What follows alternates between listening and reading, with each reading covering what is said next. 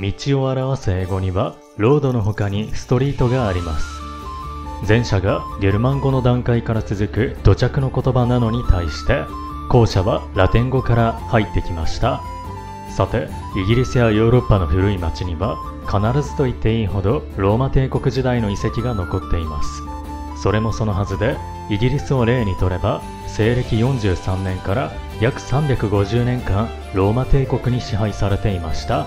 ローマ帝国は軍団を素早く送るために2つの方法を取りました。一つはローマ街道とも言うべき舗装道路の建設でもう一つはその軍用道路沿いに壁を巡らした場所を設置して軍隊の駐留地にしたことです。この軍用舗装道路をラテン語でビア・ストラータと呼んでいました。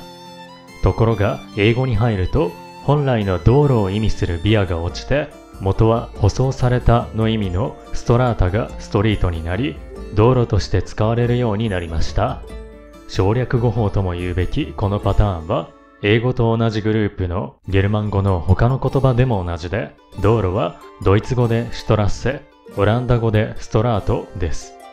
ローマ街道の例としてはドーバーからロンドンを経てチェスターに至るウォトリング街道と呼ばれる幹線道路がありますがもともとは古代ローマが建設したものです。またシェイクスピアの生まれた町ストラトフォード・アポン・エイボンの元の意味はローマ街道がエイボン川の浅瀬と交わるところでフランス北東部の都市ストラスブールはローマ街道の町。ドイツ南西部のことトゥリーアなどの地名にもローマの舗装道路が通っていた跡が残っています。